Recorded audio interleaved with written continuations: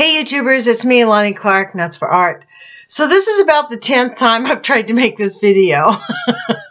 I've been at it for now almost an hour, so however this works, I'm going to stick with it. I'm going to attempt, I'm going to look at the clock and try to keep it under 10 minutes or 15 minutes. I am just so tickled. I have to tell you what happened. The Bill 990 that the NuScale was trying to, that did get through the Senate at the Oregon legislature, which overrode Oregon law that said no nuclear power unless you have a solution for the nuke waste. It would eliminate the requirement to have a solution for the nuke waste, and it allowed local governments, a city or a county, to vote to have a nuclear power plant instead of asking everybody in the state, which is against the state law. Right now, if they find a solution to the nuclear waste, and then we have a total referendum in the whole sit in the whole uh, state then we could have a nuclear power plant. So this bill 990 got through the Senate because they NuScale convinced them that it was like sleek and new and clean, and you should read the bill. It was like really ridiculous. So uh, Nancy Newell called me up yesterday. If anybody had watched, listened to my radio show with uh, Sheila Parks yesterday, the phone was ringing off the hook, and I was like, who is that? stop calling me. Uh, but she didn't stop. We ended the show. I called them back and I'm like, who is this? She's like, it's me. Guess what? They're trying to get this bill passed through the House. They're having a public meeting. And I'm like, oh my God, I'm going. I called Finnegan. I called Blanche and asked Blanche to please make a video for his subscribers so people would know about this.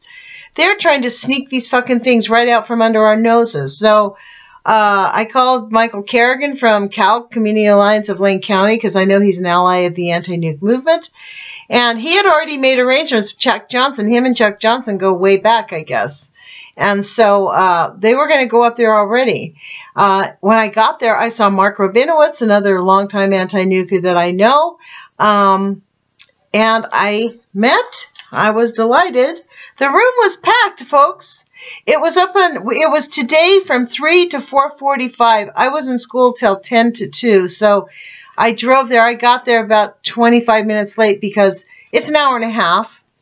So, uh, to get there. So, uh, when I got in, the room, the door was closed. The room was packed. There was only a few seats left in the back. It was really great to see a room packed full of people.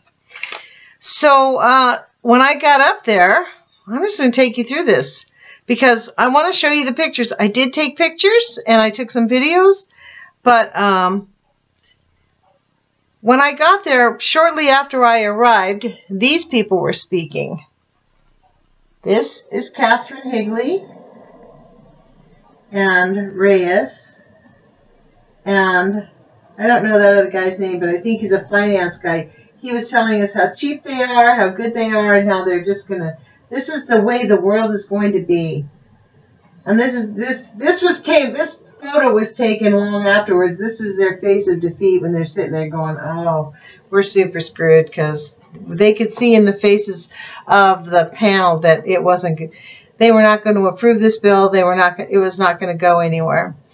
But I want to show you this because when I got there, Kevin Finnegan had uh, already arrived. He took off work early to go.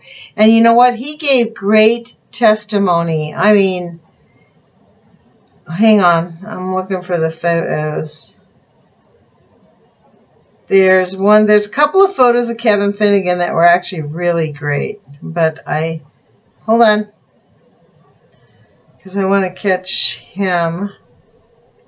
Oh, I think I had to take a screenshot of it because I had some videos. Here, this is it. And I'm not going to uh, delete this. I'm not going to fuck around with this. So here, this is Mr. Finnegan. I'll, I'll blow it up for you. He's like right there with his little dreadlocks. Turns out he got here among the first people there, so he got a really good seat, and he was up in the front. See the sort of redheaded kid in the front? That's Kevin Finnegan. You guys probably know Kevin Finnegan, right?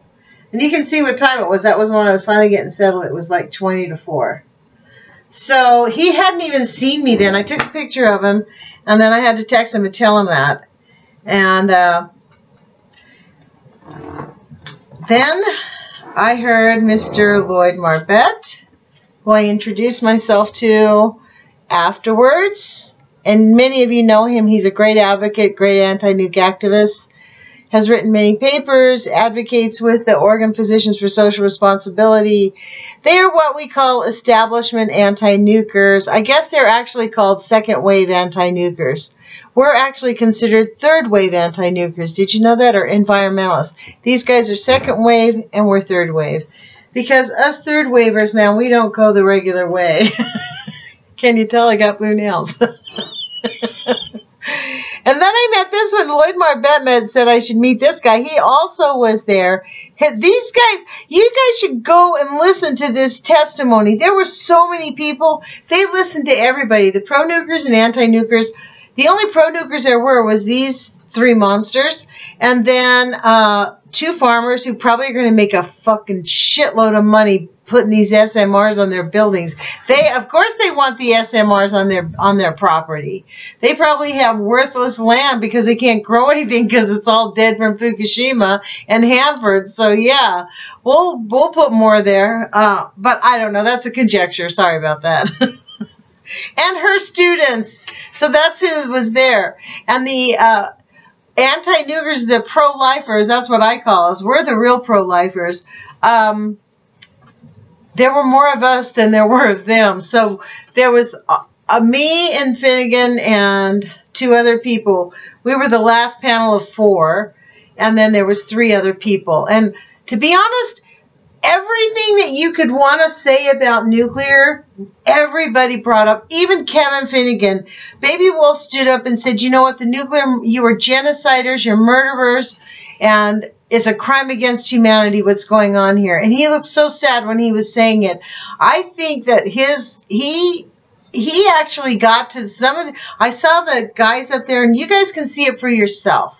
Look at it because the the the um, city council meetings are all on tape. And I did not videotape it because I didn't want to be in a room just videotaping everybody, but I did actually have my video camera on. And what I did was, because I didn't want to get busted. I didn't want to get kicked out of the room. And because I came in late, I couldn't ask anybody because I was just sort of being quiet. Uh, so I made like videos like this. They're six minutes long. Turns out all the people on this side of the thing, see? I'm going to upload them anyways. It's it's basically, I just there's nothing to show, but I was I was uh, videotaping on this one. Yeah. I don't know if you guys can hear that. These are pro-nukers.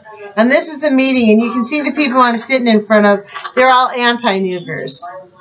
So, anyways, I didn't put it on because the lady told me that it's all on videotape and it's all available. I just wanted to share the news that we stopped a bill here. We, I mean, it wasn't just us. It, it was us. I mean, there was a lot of people in that room. People who had been doing this for a long time. You could tell, like, had been paying attention to the nuclear stuff for a long time. And you know what? I, I, it kind of hit me driving home.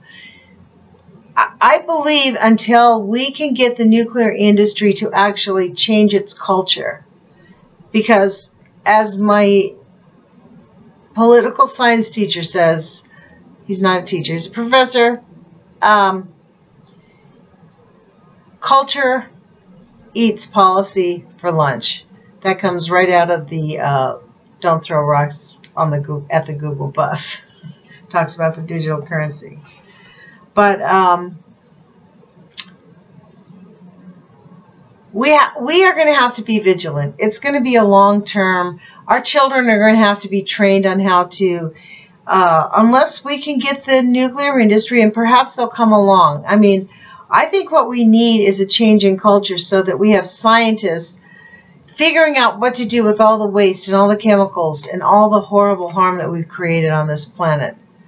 Um, I think we have the mind power, the love, the creativity. I think we have the ability. There's scientific minds that can actually like, bing, a light comes on and then everything's changed. I mean, for goodness sakes, look what's all around us. Everything is completely different.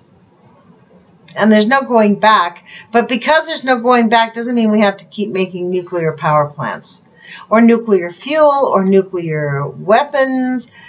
Bush's, Bush, Trump's thing is what? 73, 78% nuclear weapons.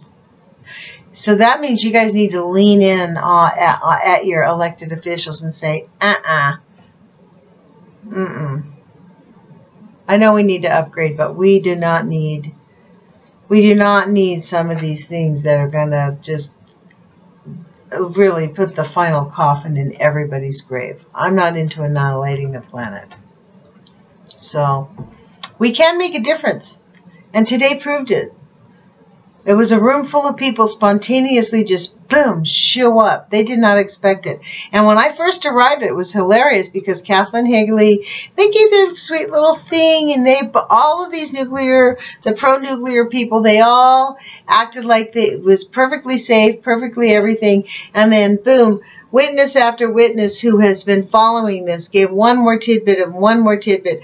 And you know what I said? I talked about this article. And now I'm going to make it the one that I read on my channel about uh, the IAEA has never tested its safety culture. And this is a safety culture used around the world. And this is why we have nuclear problems everywhere because they haven't even tested it.